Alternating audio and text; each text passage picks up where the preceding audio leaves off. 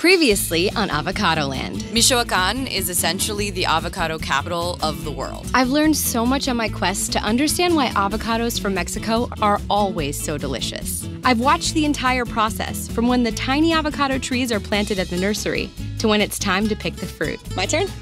Very good, Jax. now I continue my tour of the packing house to watch the final steps in the avocado's journey in Mexico.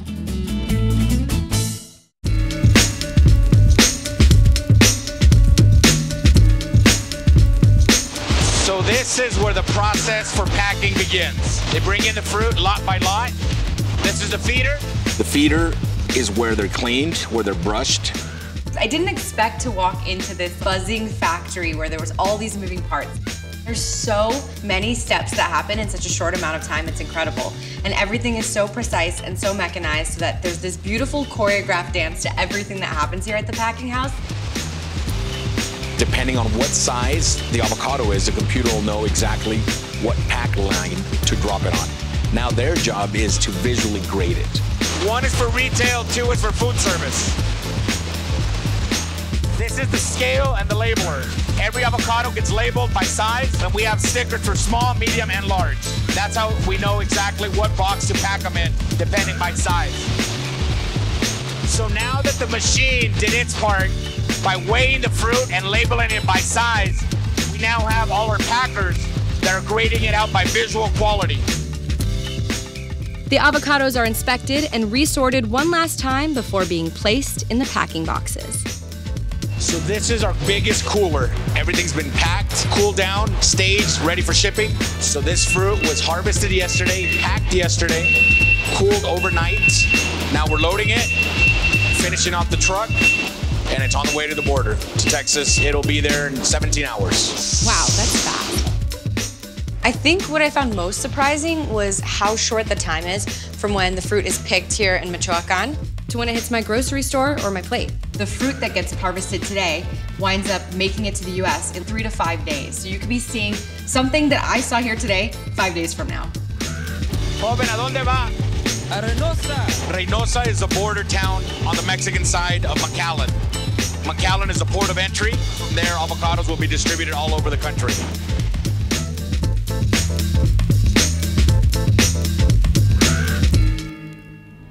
What an amazing day at the packing house. Everything is so clean and efficient. I think I finally understand why these avocados always taste so fresh and incredible once they hit my plate. Now I'm heading to scenic Lake Pátzcuaro for a farewell breakfast with Ramon, Armando, and Ron Campbell. Ramon told me I could learn more about avocados from Mexico, as well as the Purépechas people who will be preparing our meal. I see Ramon, and he welcomes me to this beautiful breakfast with the most amazing view I've ever seen. This is Welcome. so beautiful. Yeah, well, this is Haciendo Casanastaqua. It's a very nice hotel here in the core of the Michoacan area. Michoacan is a beautiful state. You have the lakes, you have the mm-hmm. mountains where avocados grow. And this is the Pátzcuaro Lake. This is the core of the land of the Purépechas. The Purépechas is the native people that has been here in Michoacan since old times, before the, the, arrival of the Spaniards. They are a very unique people. Their language and their culture is very different from Aztecs or from Mayas or from other people in Mexico. And uh, we will have some of their food. These Purepecha women, they're hand grinding the masa to make the tortillas and frying them up right in front of us. And I know I'm in for a treat. Well, let me tell you what we are going to have now. We have two different types of cheese. This is a tomato sauce on the cheese. The other dish is with a mole sauce uh, made of sweet pepper. And then this is very typical of all of Mexico, but also here in Michoacan, chilaquiles. Chilaquiles. It's, it's tortilla chips with cream and salsa. Here we have enfrijoladas. It's a sweet tortilla with beans. It's very typical. That was my breakfast all my childhood.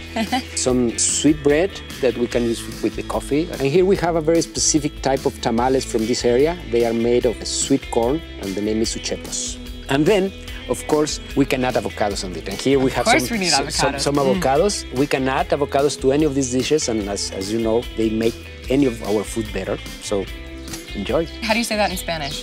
Buen provecho. Buen provecho. This is a really special meal because I've had Mexican food before, but I've never had this indigenous Purepecha cuisine. So there's all these new flavors that I'm getting to try that are totally foreign to what I know as Mexican food, but so delicious. It's like a new take on Mexican cuisine that I've never had before. I'm trying all of these new flavors and they're all so incredible. And then everything's made even better by this perfect, fresh sliced avocado from probably a few miles from here.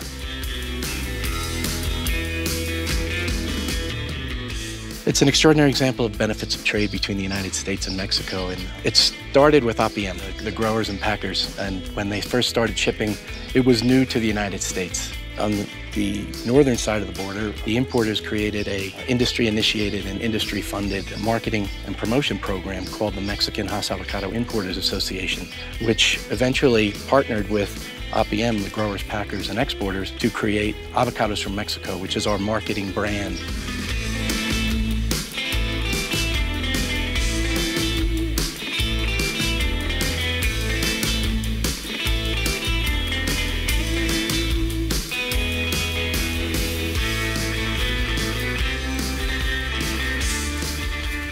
The benefits don't end here. Mm-hmm. The economic benefits and the benefits to Michoacan are also flowing over the borders to the United States. There's 3.1 billion in spending, 2.5 billion to the GDP, almost 8,000 good paying jobs. American jobs. Mm-hmm. 2.1 billion in labor income and 600 million in state and federal taxes paid in just one year. So it's a pretty amazing piece of fruit.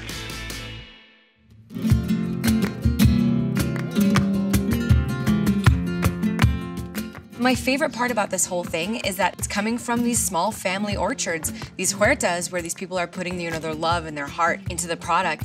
It's so great to like be at a table with you guys who are putting in the work to make sure there's such a quality product and you to make sure it gets to us in just under five days so it's super fresh and just like it was picked from the tree. We say that we are always in season and now you know why. We have mm -hmm. fruit all year round. So now you've seen where the avocados come from. Are you ready to see where they're going? Yes, what's next? Well, after we're finished breakfast, we're going to beautiful downtown Philadelphia to a distribution center. Lovely. I think you'll enjoy it. I had such an incredible time in Mexico. And now I'm off to Philadelphia to see the last piece of the puzzle.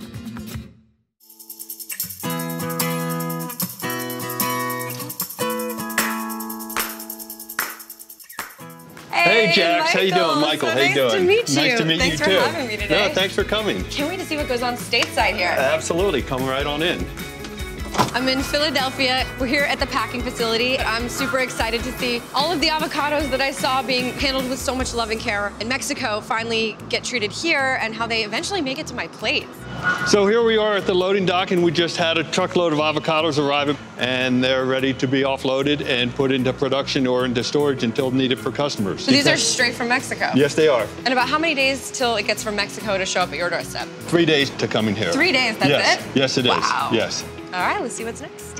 Well, after the avocados get unloaded off the truck, we take them and put them into the coolers here for storage, long-term or short-term. And depending on what the, our need is at the time for that avocado, is whether it goes in here or if it goes straight to production eh, or straight into a ripe room. It's literally avocados as far as the eye can see. And the cool thing is every single box has a label on it. So just like when I saw in Mexico, every step of the way is being tracked so that there's accountability and there's uniformity and there's just like freshness that's sort of built into the entire process. Here we're coming into production where so cool. we can see them taking boxes of avocados and dumping them onto the tray. They go up and then they get sorted out on this line based on their degree of oil or dry matter and then that gives us an even box for the customer. So each piece should be the same ripeness. We have so many customers and each one wants it a different way. So we need to configure it to the customer's needs. This production room is huge and I'm so happy to throw in the hairnet and the gloves and actually get in there. So you're looking for uniformity of size, looking for good coloring, and making sure that they're free of defects. and then if you also take a look on the sticker, it has a packing house number there. We're able to use that to trace back to the packing house in Mexico and eventually to the grower whose uh, farmer grower came from. That's the coolest thing about this whole thing to me is that for every step along the way, I see how each avocado can be traced literally back to the grower where it was grown. Yes. There's so many different processes that go into the avocado that hits your plate. You just never think about how many people put their care and tenderness and love into this thing that you sort of just feast on with reckless abandon. So after we get done packing, we go into one of our ripening rooms These here with the product. The ripening rooms. Yes, they are. We have 24 ripening rooms.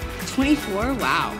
This part is so cool. These state of the art ripening rooms. This is where the magic happens. We ripen at 68 degrees, and then they go in here from anywhere two to six days, depending on what the customer's requirement is, down to 38 degrees for cooling, and then that shuts down the ripening, and then we ship it out to the customer on one of our outbound loading docks. So this is the final stage of the journey. We've seen it all the way from Mexico to here at the packing plant, and now it's going off into the world.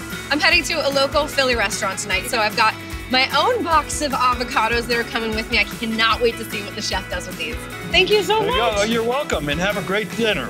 I will. I will enjoy these thoroughly.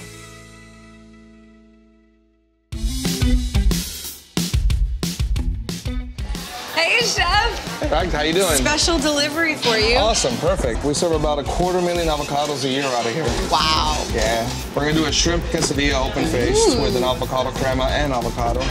So we're gonna use these beautiful avocados, They are beautiful, aren't they? So what kind of sauce is that? pasilla chili, and then uh, these are just some uh, wild shrimp that have been seasoned in the same pasilla marinade. It's not a quesadilla unless you have cheese, right? No. Nice. So while that's in the oven, this came to me today. We're gonna use these avocados, and they're perfect. They're nice and soft, but not too soft. And we're gonna make a spin on horchata, which is the rice cinnamon drink. I'm gonna drop a little bit of that in.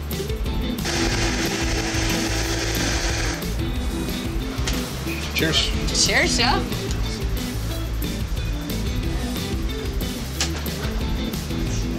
I mean, wow. Now that you're drinking that, I'll pull the uh, quesadilla out of the oven. We'll finish that out. That smells Cheese is nice and melted. Yum. And on top of that, we have here what we call it avocado espuma. For garnish, we're just gonna take some of this avocado. We're just gonna drape that over the shrimp. Oh, that looks so good. Thank you so much, You're chef. very welcome. Enjoy it. I'm gonna go. Thank you for coming. Taste test. As I sample the delicious avocado inspired food at El Vez, I reflect on my unbelievable journey. I came to Mexico to try and satisfy my curiosity about this healthy, fresh, and always delicious superfruit. It was so great to meet Ramon as he guided me on my journey exploring all over Michoacan. From the loving care shown in the nursery to the accountability during harvest to the traceability of distribution. I think I'm starting to understand why this fresh, tasty, and magical treat always makes me smile.